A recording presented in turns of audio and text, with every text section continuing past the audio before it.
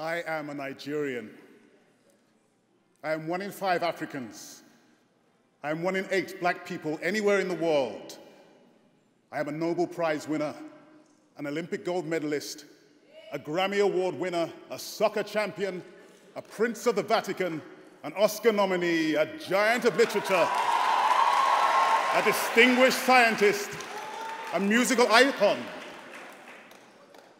My roots lie in the dusty Sahara of the north, in the rich rainforests of the east,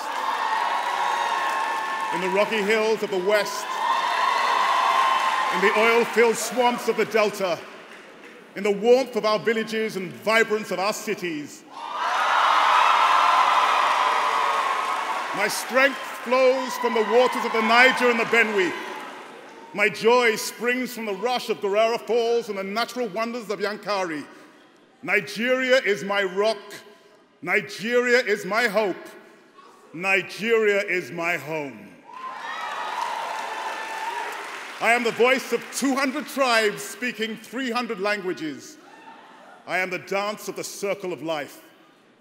I am the laughter of the world's happiest people. I am nourished by the crop of the soil, fed by the bounty of the rivers.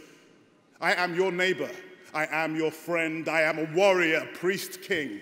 I am a mother, teacher, queen. I am my brother's keeper. I am a sage from an ancient civilization. I'm a child in the youngest nation on earth. I am the beauty. I am the sound. I am the vision. I am the spirit. I am the passion. I am the soul of a continent. I am a Nigerian.